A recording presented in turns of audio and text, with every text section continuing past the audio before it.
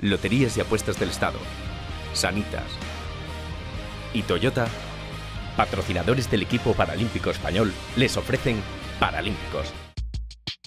Tres años retirada de la gran competición, pero Carmen Herrera ha regresado como solía, ganando. Y ya son 17 títulos de campeona nacional que añadir a sus tres oros en Juegos Paralímpicos, dos en Mundiales y tres en Europeos.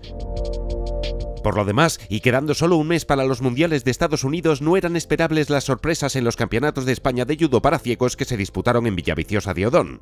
Entre los hombres, Borja Paísa demostró su total superioridad en menos de 60 kilos, del mismo modo que revalidaron su título nacional Álvaro Gavilán en menos 73, Abel Vázquez en menos 81 e Íñigo Gérboles en menos 90 kilos. Mucha más emoción hubo en menos 66, categoría en la que Daniel Gavilán, medalla de bronce en los tres últimos europeos, tuvo grandes dificultades para superar a otro internacional, Sergio Ibáñez, que acaba de subir de peso. Además de los mundiales, el equipo nacional disputará pronto los campeonatos de Europa en Italia y cerrará la temporada con la Copa del Mundo en Kazajistán. Y el año que viene dos competiciones más para asegurarse una plaza en los Juegos de Tokio 2020. Loterías y Apuestas del Estado, Sanitas y Toyota patrocinadores del equipo paralímpico español, les han ofrecido Paralímpicos.